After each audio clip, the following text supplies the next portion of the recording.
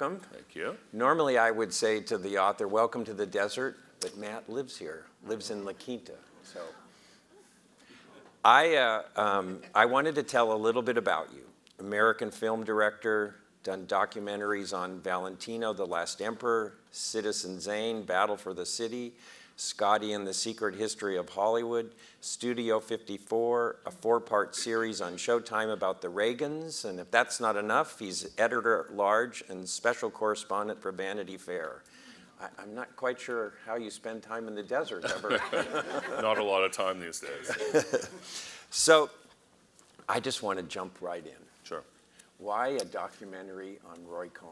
Uh, I knew the basic story of Roy Cohn from really older relatives of mine who were haunted by him in the 1950s during the Army McCarthy hearing and the lore of this man. I'm Jewish, actually, and uh, my relatives are sort of liberal Jewish people, and they really were bugged by a guy, Roy Cohn, who they felt had betrayed uh, the Jews, really, because he was a, they saw him as an arch villain, uh, a wrongdoer, and an immoral person. And he was a celebrity and an infamous figure. And he just haunted that generation of, of people who were kind of born in the 20s and 30s who were my relatives. So I had always heard about him. I'm a sort of student of that period. And uh, when Donald Trump won the presidency, I had known that Cohn was his mentor. And I thought, you know, this is a story that really needs to be looked into more. Because how was it that someone who was infamous in the 1950s during the McCarthy period had had a profound influence and arguably had made a president from beyond the grave, which I think might be a first in history.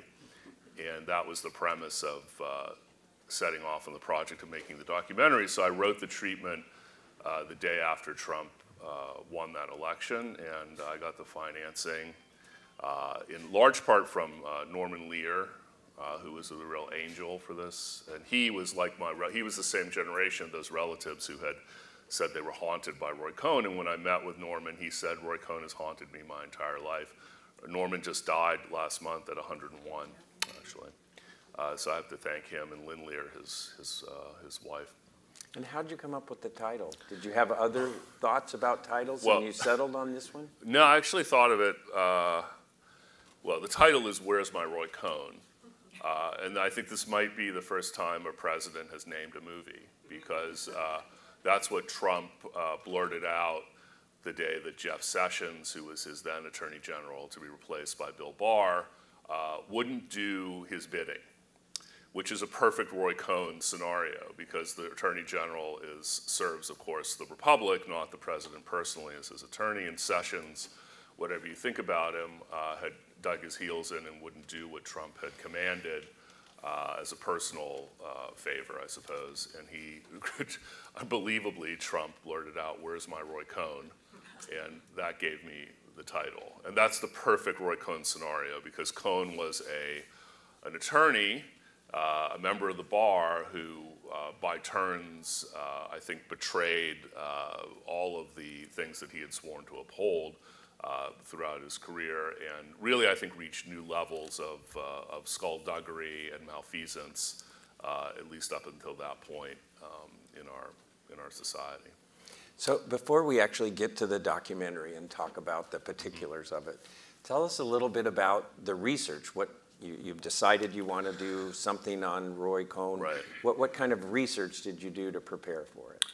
Well, I mean, there was a lot out there, uh, and a lot that really hadn't been examined and visited for a long time. Because Cohn, who died of AIDS in the uh, kind of mid, early mid 80s, uh, really, I think people had thought that the the wooden stake had been driven through the heart, and we wouldn't have to contend with him anymore, except as a historical figure, and even maybe a, a, ultimately a footnote to history.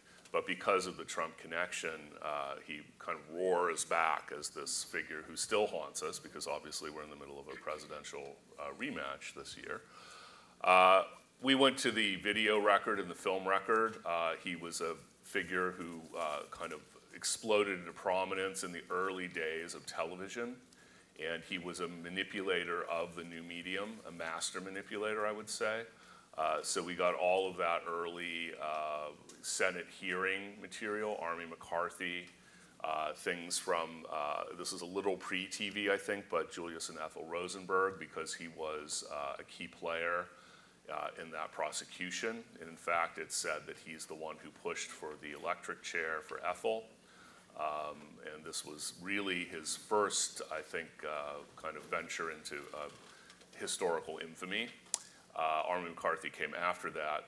And then actually, that would have ruined anyone's career. It certainly ruined Senator McCarthy's career. He was censured and died not long after the Army McCarthy debacle. But Cohn went to New York and reinvented himself as a kind of um, unique figure, a power broker, mob lawyer, society figure, and sort of rapscallion at large. And he was covered constantly by the press. Uh, he had befriended the powerful, the New York Times, which was in, all, in a way all powerful, even more so then. Uh, he had a lot of inroads into the Times, uh, and the tabloid press and all the gossip columnists were taking dictation from him uh, basically. Which And is so how did you power. find all that information? Well, you go to the library, actually. Uh, The- the- Like the New York Public Library or the Yeah. US Archives? yeah, or- no, that's a literal, but there, of course, there, there are subtleties to it. Yes, the National Archives was a huge resource. If you're a filmmaker, the National Archives is a, a gift because it's free. And uh, part of the expense of making films, in fact, one of the biggest expenses of making a documentary film is the price of archival footage, which the TV networks uh, sell at a like a king's ransom. Really, it's it's actually a problem. And uh, you can get everything for free from the National Archive, and uh, we spent a lot of time there. I, I'm based in LA, and I do have a house here, uh, kind of like a weekend situation, but. Uh, we send people to DC, or we have people who are based in New York who go down. We, the New York library system, the New York Public Library is, I mean, I'm giving a tribute to libraries, and very appropriately so. Uh, the New York Public Library is a wonder, and they had collections. Uh, we went into other people's collections who, that were relevant, that were in the New York Public Library. Ken Auletta, who was a colleague of mine at Condé Nast when I was at Vanity Fair, had written an early profile of Cohn for Esquire.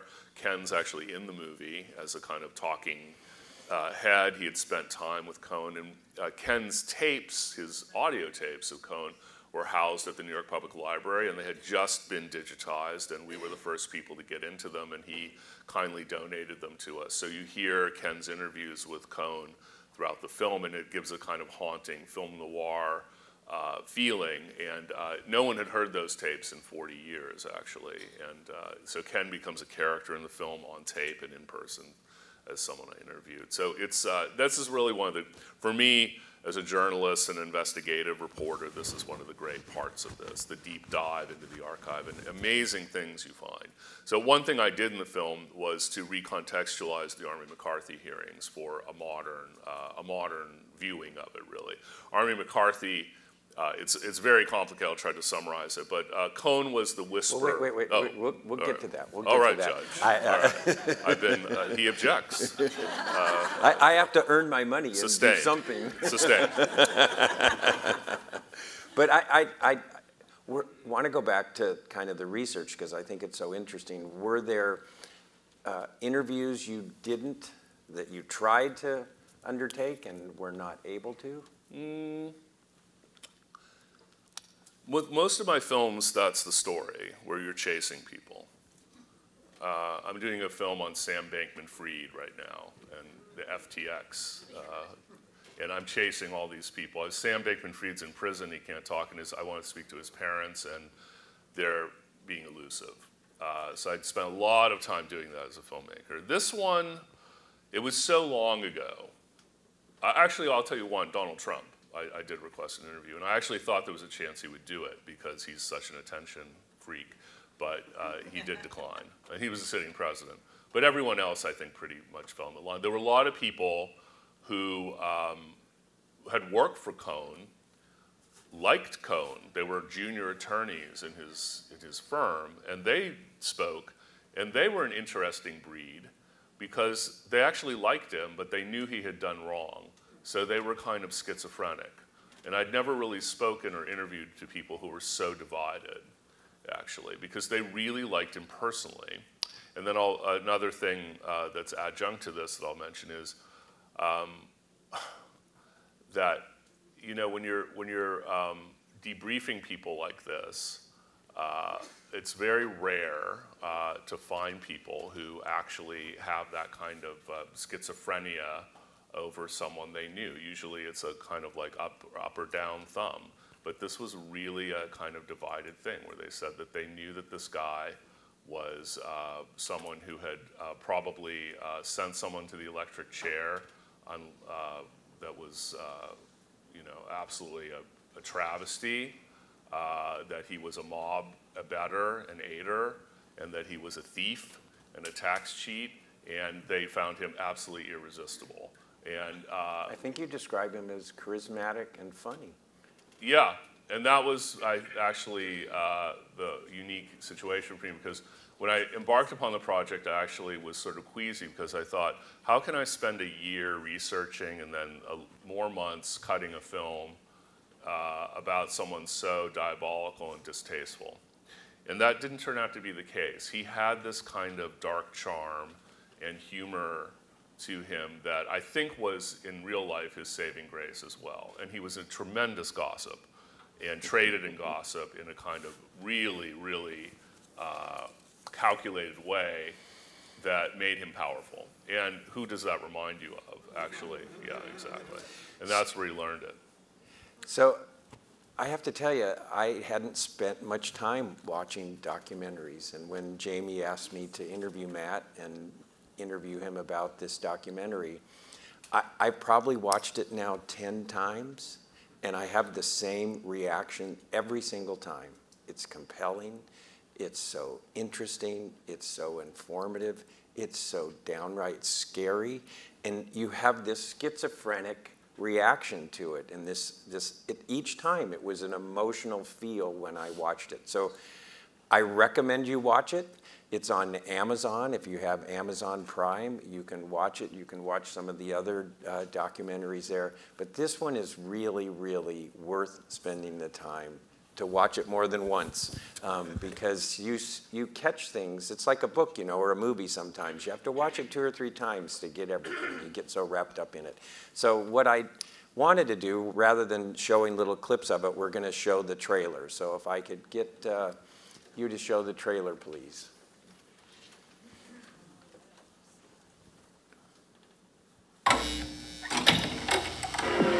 Testing one, two, three. Last question today. What makes Roy Cohn tick? Dora Cohn wanted a different son from the son that God gave her. And that imbued him a sense of shame about who he was. His father gave him the language through law and politics to express his shame. Roy Cohn's contempt for people, his contempt for the law, was so evident on his face that you knew you were in the presence of evil. He was like a caged animal. If you opened the door, he would come out and get you. He's this ridge between the legitimate and the illegitimate world. When John Gotti walked into a bar and shot a guy in the head, Roy managed to get Gotti off we have Cohn investigating homosexuals very aggressively. But he was the one who threw the grid parties. And there were rumors he was picking up male prostitutes. He could pull strings and bring people together. He could pull strings and make people do things. I was in his office when Nancy Reagan called and thanked him for getting her husband elected. Cohn looked at Donald Trump as a protege. Donald had the money, and Roy had the balls and the shrewdness. Attack. Don't settle. Don't apologize. Attack. When you look at Cohn's life, you're shining a light on demagoguery, hypocrisy, and the darkest parts of the American psyche. According to Roy, Roy was responsible for everything important that happened in the United States.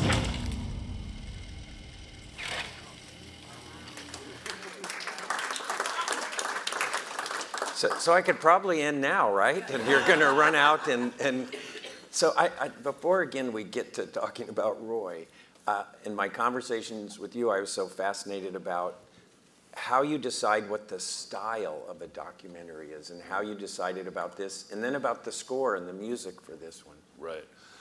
Um, well, yeah, you do need to kind of have an idea in your head about what the style is, and then the movies are really made in the edit room. Uh, I mean, this feature films they say are made in the edit room, that scripted films, and I, I would agree with that. Documentaries even more so, I would say. Uh, it's akin to journalism, where it's a reportorial process, but then you really have to have something that's entertaining as well as journalistic. So I come up with a kind of idea of the style, and in this case, sometimes it changes in the course of, of the making. You see things that are different. You get the film in that you shoot.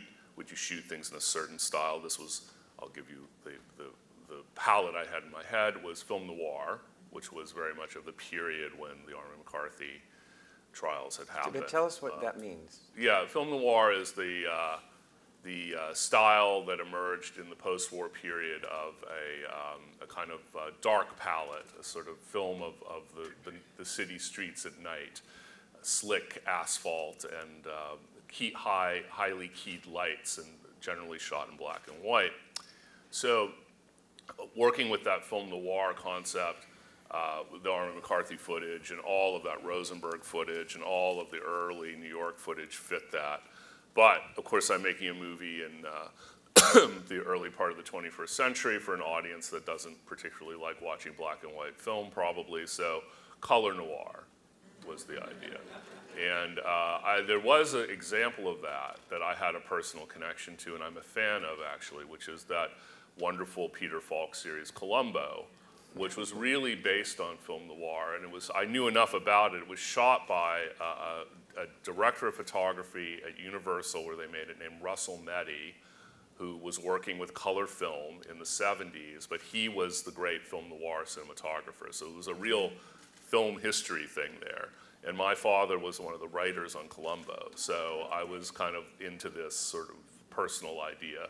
And we, we used the palette of Columbo and we lit the interviews with that same color, which in that is a sort of like a caramely light. Uh, and that's, that was the look of it. And then we cut it like a film noir, we scored it like a film noir.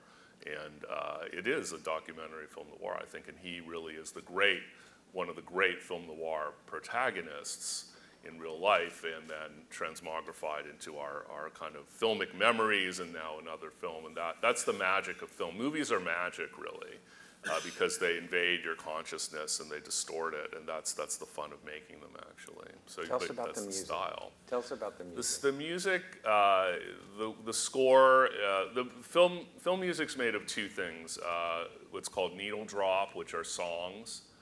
And when, when you look at the sheet, uh, what the music supervisor gives you, it says known song, known title. And that means it's going to cost you. Uh, and then you find, you know, versions of it that don't break your budget, or you re-record it.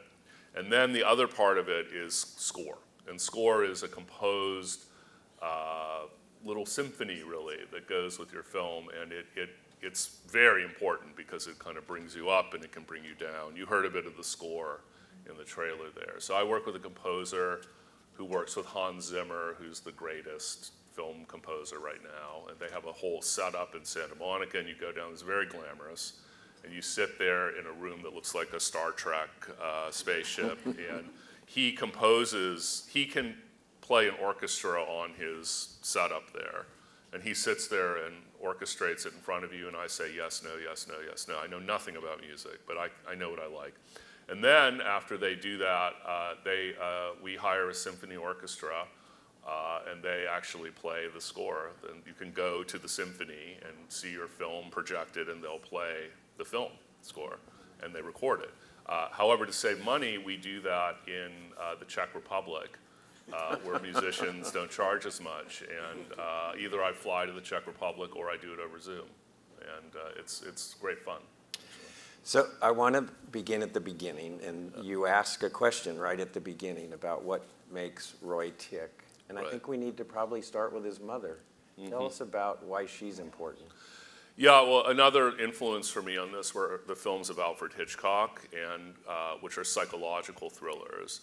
And uh, usually Hitchcock, uh, probably nodding to Dr. Freud, uh, blamed everything on the mother uh, when he had a psychotic villain, uh, which may or may not be true in life. Uh, and I, I think. uh, I think that Cohn was really a product of his mother. Fascinating figure, Dora Marcus Cohn, uh, who was the heiress to get th- get this. So they were very wealthy. He was born into a wealthy Jewish family of not the highest caste, because the highest caste of wealthy Jews at that time were the German Jews of New York. The Loebs are a good example of that.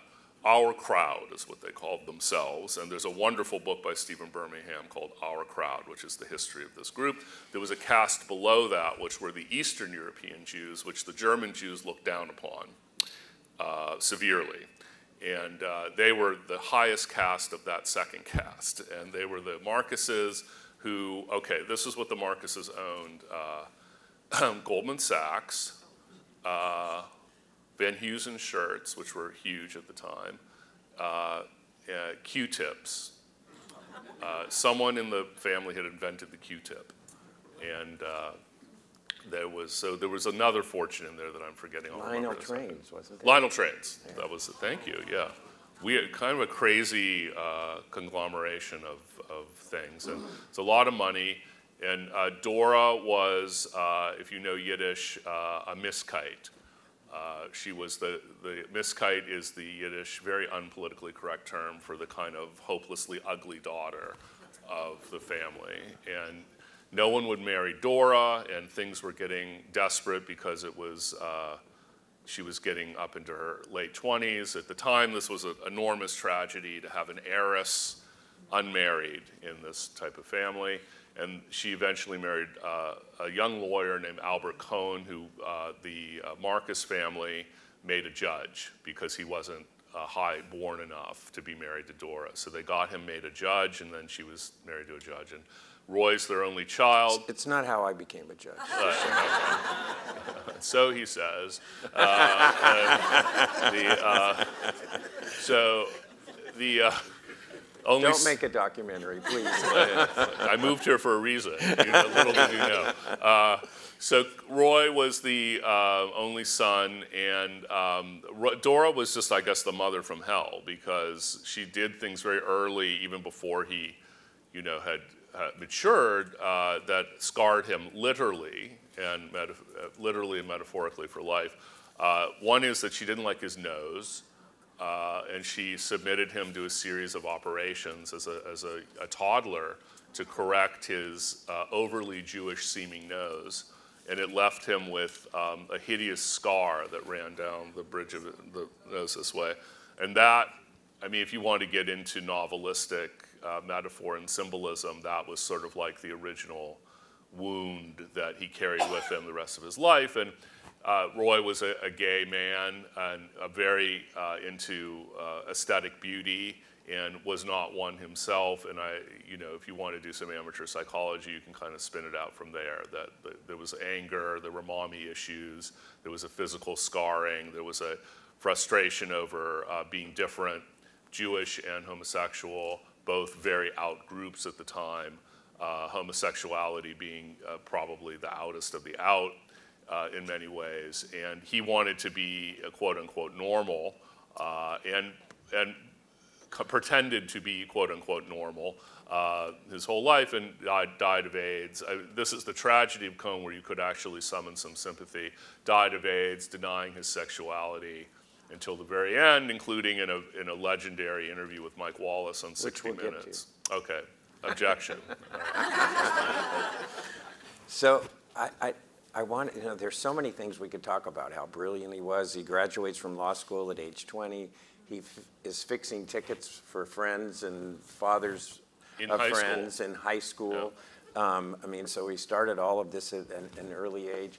But I, I, I want to talk about, and we could talk about the, the Rosenbergs and all of that, but there was one part of it that, of course, was intriguing to me, and you somewhat mentioned it, and that is that he had I mean, it was kind of orchestrated in some sense who the prosecutor was and who the judge was. And he had ex parte communication with the judge, if not throughout the trial, at least after, Yeah. before the sentencing. Right. So this is the Rosenberg uh, uh, espionage trial.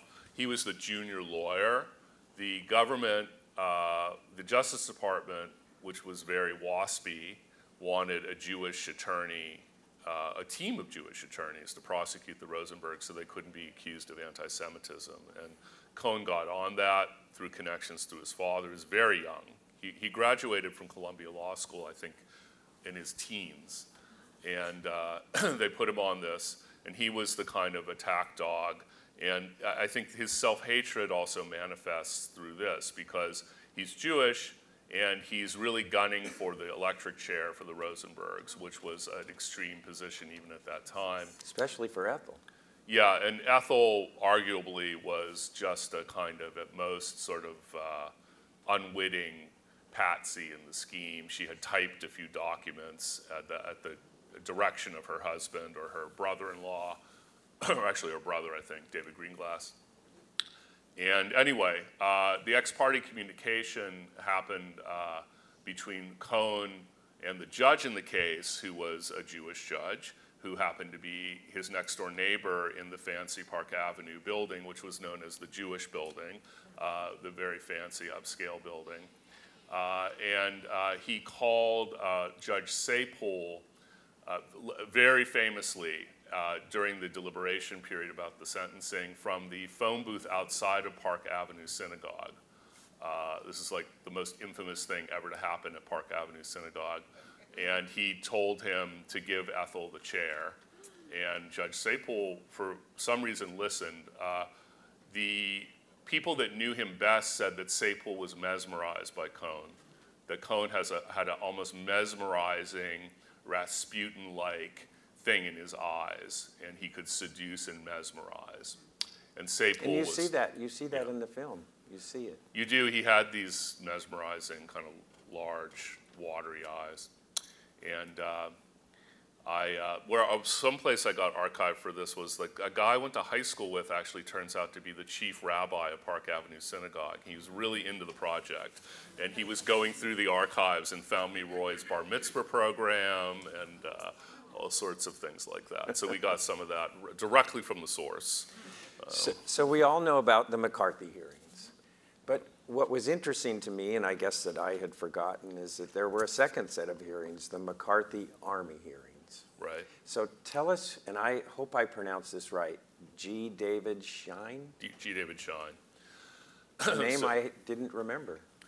Yeah, I mean, that was the thing. Like, all these relatives of mine who told me about Cohen always would mention David Schine, and he was a real footnote to history. So I didn't really clock who Schine was. And that was, I think, the, the thing that time allowed, the revisitation of this allowed, was Schine was uh, a handsome Jewish heir to the Statler hotel fortune who was, today we would say, and the Daily Mail would report that he was Roy Cohn's boyfriend, or there'd be open discussion of this. But in the 50s context, open pub, public homosexuality among important figures was not something that was ever discussed. It was unprintable. The word gay or homosexual was unprintable in the New York Times or even the tabloids. Really, it was relegated to, you know, uh, confidential magazine, scandal sheets is where you would find that stuff. And it was all very kind of um, predatory and and used to ruin people, smear people. Turned out in my research, I found out that J. Edgar Hoover, who was a big promoter of Cohen's career, who was more than likely a closet homosexual himself, uh, used to leak to Confidential. He was one of the great sources of Confidential. So he would smear his enemies in Confidential, and Cohen would do the same thing. He used Walter Winchell and other gossip columnists of the day. But what Hoover and Cohen would do is they would drop the dime on other gay people who were living lives in the closet, and in exchange for protection uh, for their own secrets. That's that type of thing would happen. And the Army McCarthy hearings are really a gay, if you can read them as this, and I think there's a lot of evidence to support it as a gay psychodrama Uh, there were rumors, I know, I hope you're sitting down for this, that Senator McCarthy was also gay, uh, though married to his secretary, uh, and uh, the father of an adopted child that Cardinal Spellman had found for them very quickly when rumors were circulating that he was too long a bachelor. And um, McCarthy, with Cohn egging him on, was going after, uh, you know, the supposed infiltration of the State Department and the Army with communists. And Cohn and he were getting very famous and very powerful and terrorizing people. Uh, this was the McCarthy period. It, he gave the name to the, that time of the uh, Cold War. At a certain point, McCarthy decided to go after Eisenhower, who was president, and the Army. And this was going to be a bridge too far. Cohn was along for the ride and really kind of orchestrating the whole thing. Um, and uh, as they were starting to kind of persecute uh, branches of the Army, people on Army bases, Eisenhower had said to his guys, like, you have to put this to a stop. Um, but at the same time, it's a little complicated, Cohn and his probably boyfriend, at least love interest, David Schine, were investigating uh, lots of uh, things at bases like um, communist infiltrations within the communications departments of Fort Monmouth and things like that. And uh, they decided to um, uh, go after the Army, and Cohn at the same time was doing special favors for Schine, and this is what the whole thing turned on. He decided that Schine, who was about to be drafted for the Korean War, should not be a private, but should be, and I kid you not, a general. So he had threatened the Army with, he threatened certain uh, figures in the Army with exposure as being spies or whatever, homosexual, whatever he made up, if they didn't make Schine a general and post him in the penthouse of the Waldorf Astoria. And, and you're really not making this up. I'm not. Because This is- in, in the documentary, they specifically ask questions Right. about that. And what I thought was interesting too, just as a sidelight, there are all kinds of insinuations in those questions Right. about homosexual relationships. So this is what I found when looking at the footage. Now you can see lots of this footage in lots of other documentaries, but it's usually played as a sort of political drama where bad McCarthy is overplaying his hand and Roy Cohn's whispering to him, and this was these were the bad old days. But if you look at it, it's very literally a uh, a kind of passion play about undoing these suspicious, smarmy people who probably are degenerates. And that's Cohn, Schine, and by extension, McCarthy. And there's a very famous um, moment where um, the uh, attorney uh, Welch, who's the person who is a, a great American hero, and he, he's the one who brings down McCarthy with a, a single sentence. Uh, Senator, you've done enough. Have you so? Have you no sense of decency, sir? At long last, have you no sense of decency? These, this one sentence uttered on national television was really the, the straw that, that broke it all for McCarthy.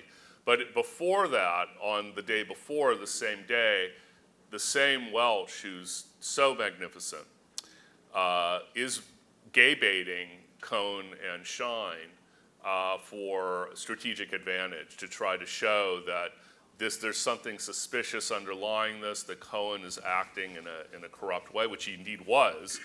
But homophobia, what we would consider today glaring homophobia, uh, creeps into it. And there's um, one instance where uh, a photo is introduced into evidence, and uh, no one can say where the photo comes from. And uh, uh, Welch says, uh, "Well, what did did a fairy, um, you know, produce this photo?" And uh, McCarthy then says, uh, "Counselor, uh, could I trouble you, please, to define uh, what?" Uh, oh no, sorry, did a pixie, I got it backwards. I ruined the punchline, but you'll get it anyway. uh, did a pixie, did it come from a pixie? And then McCarthy says, uh, would you mind, you know, describing or defining what a pixie is? And then Welch says, I believe a pixie is akin to a fairy. Uh, and that clearly, we read that today. But at the time, that was kind of like, what? But we knew something was very amiss here, and that was enough. And th- that's Army McCarthy. But you see, uh, Cohn, Cohn, and this is, goes directly to Trump. Cohn realized that there was no such thing as bad publicity. That the more attention you got, the better. And ultimately, if you look at his whole career arc, that worked for him until he was the, the denouement. I And- know. and we're gonna get to that. We're gonna get objection to that. coming, but uh, I won't spoil it. But uh, he, this is Trump took this lesson from him, and he they overplayed their hand in Army McCarthy, and then in typical crafty Roy Cohn um, uh, fashion. McCarthy's the one that gets ruined, and, and Cohn has enough mojo and enough family contacts and is young enough to reinvent himself.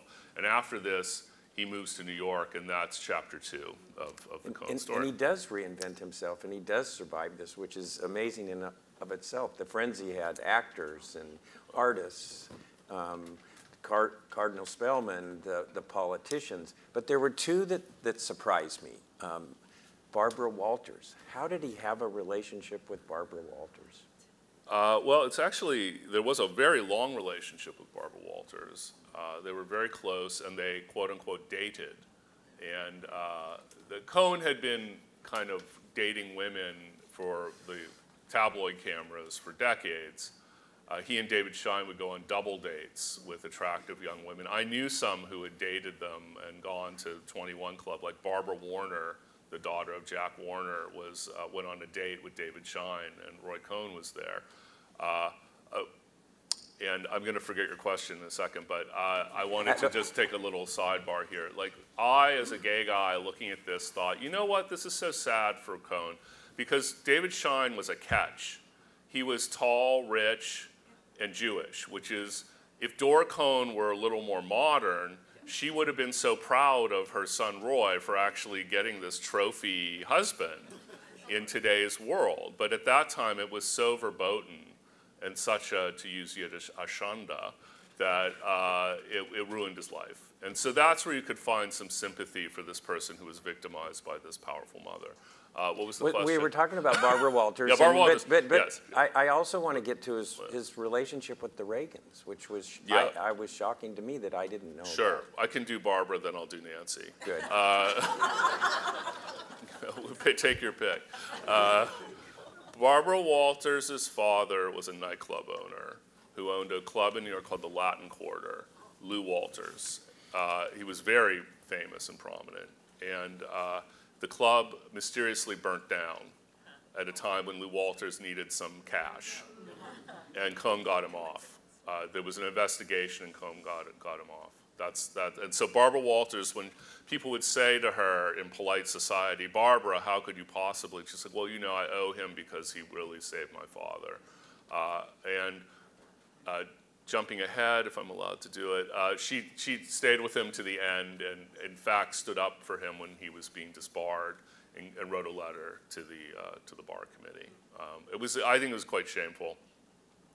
But she wasn't alone. There were many other prominent New Yorkers who really backed him. Uh, so Nancy Reagan uh, and he were uh, fast friends. I always found this ironic about Nancy Reagan and the Reagans, who had such a terrible record on the HIV AIDS crisis, that most of Nancy Reagan's day to day closest contacts were gay men. Uh, it's true. Uh, Jerry Zipkin, um, Merv Griffin, um, uh, Roy Cohn. And when Cohn uh, uh, contracted HIV, he appealed to the Reagans for help, and uh, the Reagans got him into his program at the National Institutes of Health, overseen by Dr. Fauci at the time. And uh, Cohn was treated there, uh, and it was part of a, a trial that very few people could get into. And, and you have pictures of him in, in the White House. Oh, sure. I mean, he. In the Oval Office. There's a line in the trailer where one of his law associates, Robert Cohn, uh, says that he was in Cohn, Roy Cohn's office uh, the day after the 1980 election when uh, Nancy Reagan called him to thank him, uh, Roy, for winning Ronnie the White House because uh, now this will blow your mind. Uh, there was a uh, associate of Roy Cohn at the time named Roger Stone uh, who I interviewed. And can, can I, can we stop right there? Because Yeah. how did you get Roger Stone to talk on tape? Because he plays a major role in this, and he is very candid. I mean, he Yeah. didn't hold back. I think Roy, I think Roger Stone and Donald Trump were proud of their Roy Cohn association. I think they viewed him as a father figure. I think their love for him is uh, unabashed and overt. And I think that Stone, Roger Stone, who was on under a lot of pressure at the time I interviewed him, uh, wa- wanted to stand up for Cohn. And uh, he gave an amazing interview, actually, and was very candid. Uh, it was one of the better interviews I've ever done, uh, as distasteful as the subject of the interview was, in my opinion. But he, he gave a great interview.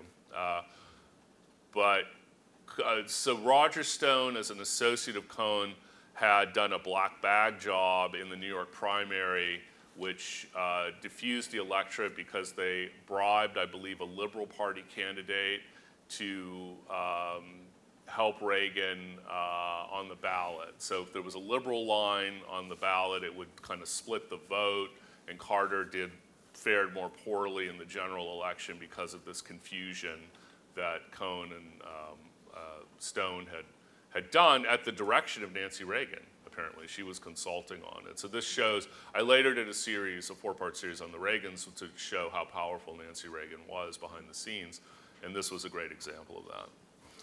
So what finally brings him down, because he, through his life, is charged many times with significant criminal indictments. Yeah. Sometimes he defends himself, sometimes he gets them dismissed. He has this philosophy, you never settle and you fight, but he's never convicted. But what finally brings him down is a disbarment. And, and I want you to talk a little bit about it because what I thought was interesting is, is that he's in essence accused of defrauding his clients That's right. and, and lying under oath. So, you know, not only is he doing things for his clients that probably are unscrupulous, at the same time, he's defrauding them, and that's what brings him down. Tell us a little bit about that. Well, he, there have been many disbarment uh, attempts or many kind of uh, accusations over the years. And uh, I didn't really know this, but attorneys who are licensed by the bar are really at the mercy of the bar. There's not a lot. You could sue them for malpractice, but he would always get out of these things because he had a very famous adage which, which was, don't tell me about the law, just tell me who the judge is. Because he would go directly to the judge and have a ex parte communication as he had done with Judge Sapol and get, like get people the chair. So this worked for him, and believe me, this is what Trump is thinking every second, uh, and it works uh, frequently. So um, a new head of the New York State Bar named Marty London took this thankless job. Uh, no one wanted this job.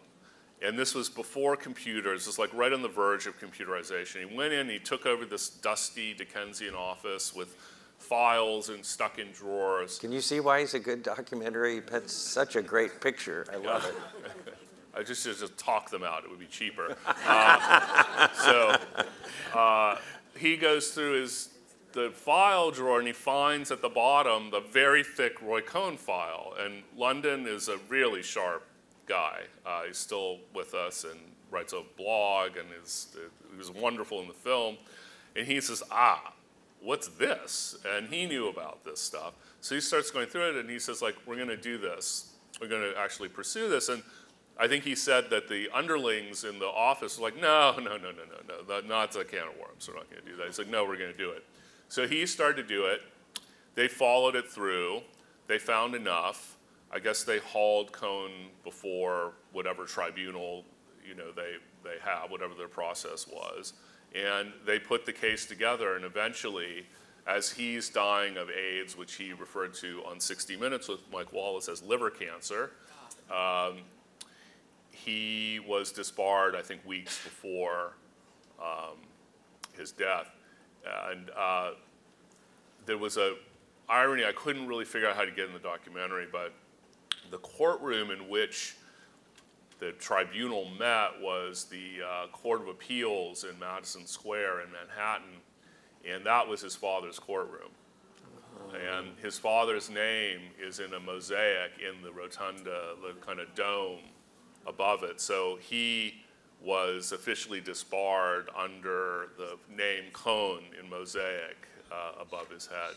So I, I want to quickly say, because we just have a little over a minute, that what I found really interesting, and you bring this out, is he talked about loyalty. He said, if you're loyal to your friends, your friends will be loyal to you, ah. because they seem to have been when he was being disbarred. After he was disbarred, he had no friends. None of them were loyal to him. But I want, in one minute, I want you to end with the Mike Wallace interview, because it's probably the most compelling. Well, yeah, I mean, Wallace. And you've got 50 seconds. Thank you. Uh, uh, Wallace, who was a member of that upper caste of New York celebrity, uh, who ran in the same circles as Cohn, got him to sit down for an interview. And Cohn is visibly uh, suffering from AIDS, denies he has it. Cohn says, People say Roy Cohn is a homosexual and is dying from AIDS. And Roy Cohn says, Mike, I'm not dying from nothing. I have liver cancer and I'm going to beat this like I beat everything else in life. And uh, he died a few weeks later. That's the one thing he, he couldn't escape from, which is a terrible, sad irony. Great documentary. Great person to do a documentary. Please watch it. Thank you, Matt. Thank you.